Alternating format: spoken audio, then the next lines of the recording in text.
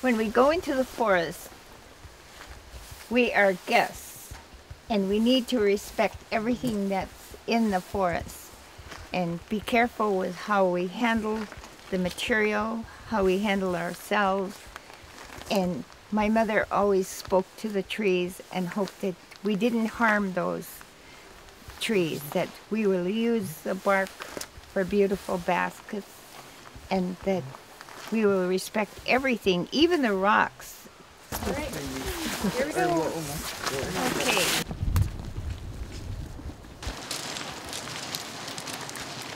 A bad thing to do is to get bark right on a trail. You want to respect the tree for one thing so that it's not uh, exposed and you really shouldn't do it. Oh, look at that one. They just did that one recently. A really old tree. Oh, you would never do that to a tree that old. That tree is about 300 years old. We've gone past all of the cedar trees that have been harvested already, um, and we're gonna start hiking back just a little bit into the woods. We're gonna be collecting from the side um, that's away from the wind, so you can't see it from the trail.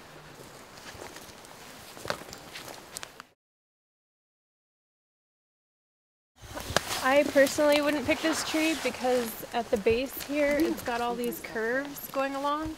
Um, you want something that's kind of flat surfaced so that it's easier to pull. Um, otherwise it would be a great tree because there are a few branches. Um, so we're going to just move right over here to this one. How can you tell that it's ready or that it's a good tree? Um, because it doesn't have branches until way up till about 20 or 30 feet. And the bark looks a certain way? It's reddish and the lines are straight up and down. You look at this too. You look at um, how it is at the base and this won't go clear down, it'll be way up here. But you want it to go as far down as possible. But you could start here on this side of it. And as high as somebody could go, go down here. Okay, and then put the axe in so you're sure you're at the hardwood. okay? First? Yeah. And the top cut, is that about four inches wide? How wide is that? Well, yeah, at more, more like three.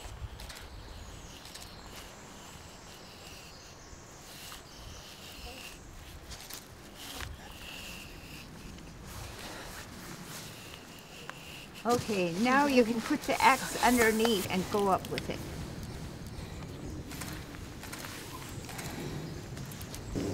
So what time of year do you usually go? It depends on the weather, because sometimes we don't even get it until June, but this year it's early. People got it in April. Oh, she keeps going down, clear to the Okay. bottom. Now, that'll be what she does, and then she'll put the axe in when she gets down to the bottom again. How far down?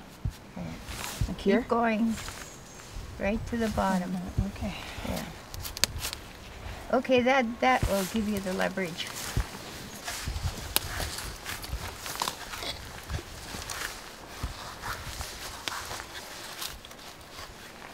Okay, now cut the other side from the top down. So just go as high as you can, and Okay. just three, three, three and a half to four inches. It's so much easier when the season is right. It'll just go right in and just come down. Okay, use the axe again.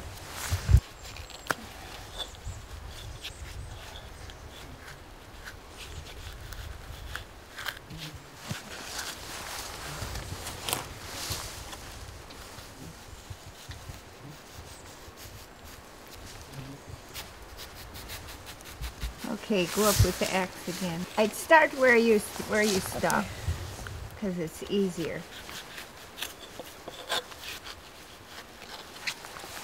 Okay, now cut it across. Now that one should go really far.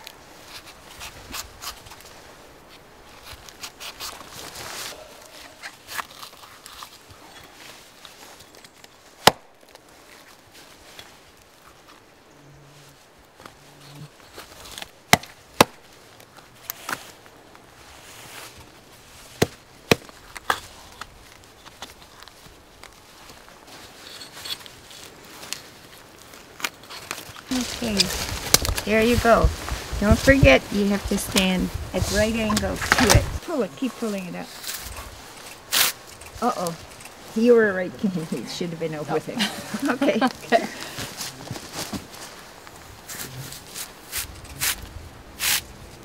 Oh, it went a long way though. Now, you're Uh-oh. gonna, now you can come. Now the you need brute strength. Let's just see. Oh. So a strip like that, Delores, how many of those strips does she need to make a small basket? Shoot, that one would make a small basket. Okay, somebody else get a little piece right next to it, and you'll do the same thing. It'll be on that. Oh, there's branches there, so it'll have to be on this side. Start at the top, start further up, and then, because it's easier. Okay, keep going. That's that's good. It'll go all the way from there. But just make sure it goes the three inches across. Then make your three inch cut. Push really hard, as hard as you can. Yeah, keep going down. Now the X. Get the X under it so it's all the way.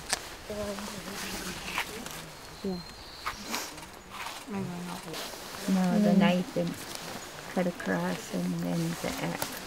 Like right here. That's it, yeah.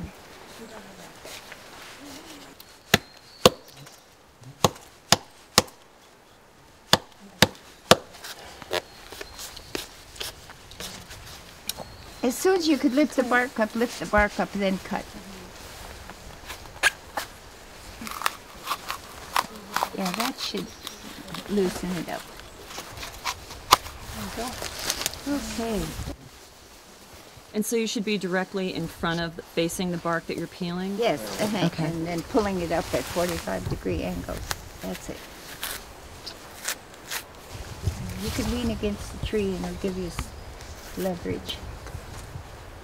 Don't look up. That's one of the rules. Don't look up because you'll get dirt in your eyes.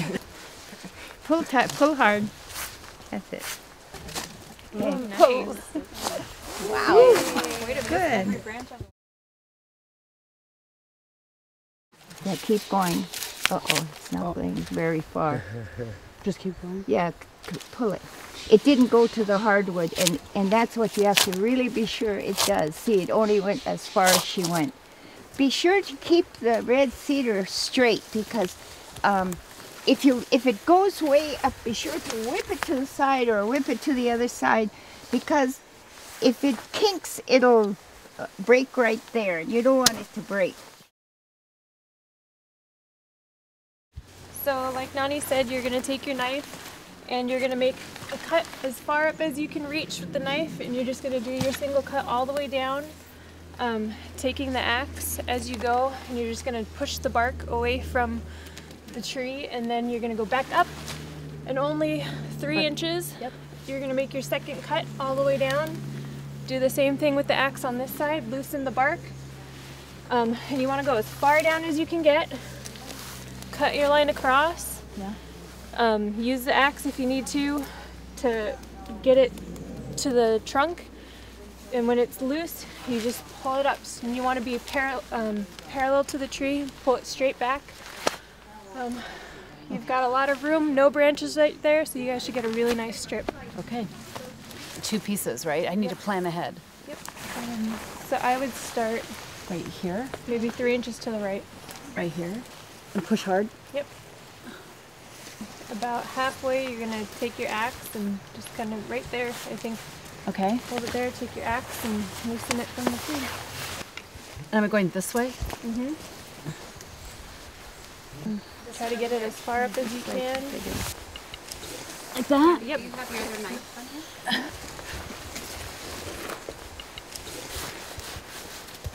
And you're gonna do the same thing. You're gonna pull the bottom But I'm- half away. But should I go up? Start up here. Yep. Start from where you ended. Don't be afraid to get the blade in there. Okay.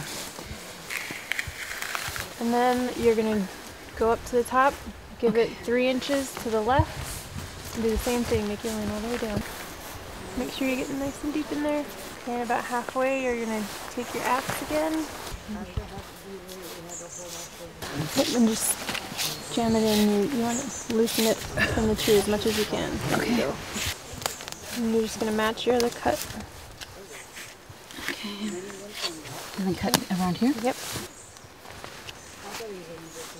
Don't be afraid of it. There you go. Okay, so you've got a piece lifted now, so if you want, you can use your knife to finish off your line.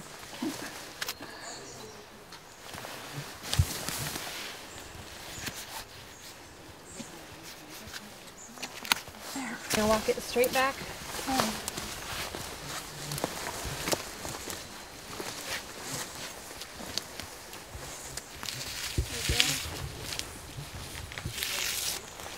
So we got the first strip. So the second one, you're gonna take your axe and you're gonna go up as far as you can. You're gonna shove it under on this side and just pull it away from the tree. Okay, you're gonna do that as far down as you, from the top, as far down to about here. You're gonna make your second cut at the bottom here because you don't wanna go to the same spot. And then you're gonna take your fillet knife, again, three inches as far as you can, all the way down. And then you're gonna go back with your um, hatchet and you're gonna do the same thing. You're gonna loosen it up on this side, all the way down, cut your line, loosen that up, and then you're gonna strip. Okay? It's very slippery. There's a lot of moisture coming out. So it just slides. Let's look at the tree really quick. So it kind of It twisted a twisted bit. little bit. So you're gonna want to go maybe right here, So you're going wider because it's twisted? just a little, just yeah. So you're about halfway. You're gonna want to stop and grab the axe. You start at the top and come down. Okay. If it's giving you a hard time, you can go in from this side and try to pull it away more. So maybe you want to get it in there just a little bit more. Yep, and then just there you go. Lovely, thank you. Yay!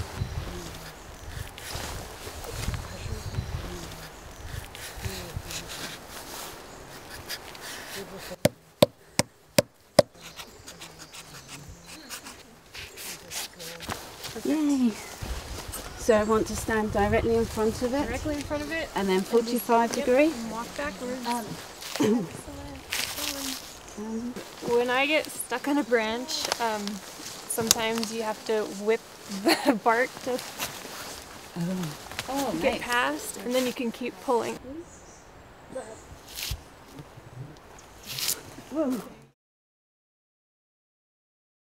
So you cut into into the bark and then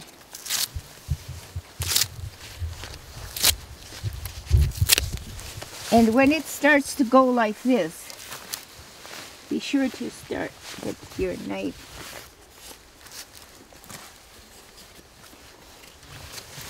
what I usually do too is I take it around a small tree and I'll rub it. I take it and weaken so that um, the bark will come off easier because otherwise it's going to break off it. And you don't want that to happen. And you always start at the narrow end of it. You don't start down there. It'll break off in a short time. Uh-oh. See, I didn't bend it enough right here. You have to really bend it.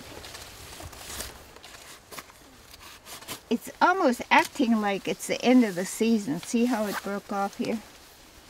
It never does it. It usually stays really straight.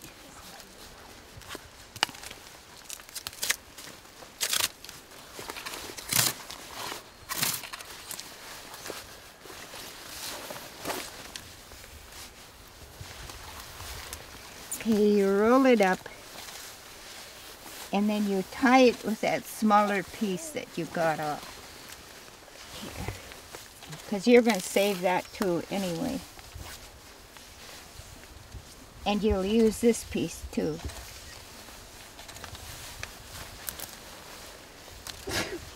Okay. And we leave these by the tree, so it'll nourish the tree again. We don't take it out of the forest. It's softening the outer bark so that they'll be able to get the inner bark off much easier. If they didn't do that, it would keep breaking off in small pieces. So I was wondering if you could help me start to separate it. Oh, sure. I've- It, I've it doesn't start at the bottom, you start, at the top. end, yeah. Yeah, you need to cut right to the part where it starts to get pinkish. Because if you get it to the outer side, it won't, it won't work. It's really tough because it, it's this when it's pink, it's already turning to wood. You know the outer bark. I think I'll cut it a little bit more, have more leverage.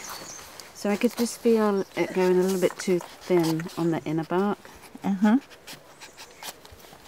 So I stopped and asked Delores, and it was. So she's now cut some more into the pink.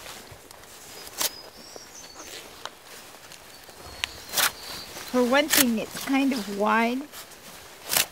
I think it'd be easier if you sat down too. Okay. And put it between your knees. See, the knee gives you that leverage. Oh, that's good. Oh, Okay, stop. As soon as it does that, stop.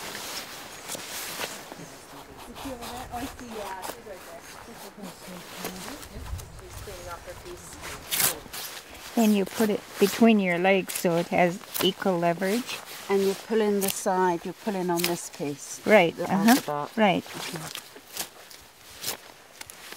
You kind of jerk it.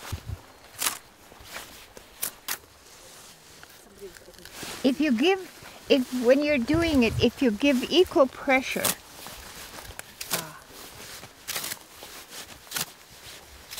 So does it look here like she's leaving too much pink on? Um, it's quite a bit, but... I'm going to pull the, the bar, outer bar. I'm not holding this. Yes, you need to switch it. See, I, was, I had to switch it because I had it set up for right Okay. Two. Okay.